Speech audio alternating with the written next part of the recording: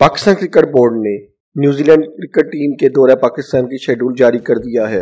मेहमान टीम दो टेस्ट, आठ वनडे, पाँच टी ट्वेंटी इंटरनेशनल मैच खेलने के लिए दो मुख्तलिफ़ मराहल में पाकिस्तान आएगी। तेईस दिसंबर से 15 जनवरी तक जारी रहने वाले पहले मरहले में दोनों टीमें दो टेस्ट, तीन वनडे इंटरनेशनल मैचेस में मध्य मुकाबल आएँगी। इब्तदाई मरहले में शामिल दोनों test matches ICC world test championship जबकि इसी दौरान खेले जाने वाले तीनों one day international matches ICC world cup super league का हिस्सा है। सीरीज़ का पहला टेस्ट मैच सताईस दिसंबर से इकतीस दिसंबर तक कराची में, जबकि दूसरा चार से आठ जनवरी तक मुल्तान में खेला जाएगा। इस दौरे में शामिल तीनों वनडे इंटरनेशनल मैचेस ग्यारह, तेरह, पंद्रह जनवरी को खेले जाएँगे। मेहमान टीम दूसरे मरहले में, तेरह अप्रैल से सात मई तक पाँच व्हाइट बॉल मैचेस खेलेगी। इस दौरान दोनों टीमें पाँच वनडे और पाँच टी ट्वेंटी इंटरनेशनल मैचेस में, मध्य मुकाबले आएँगी।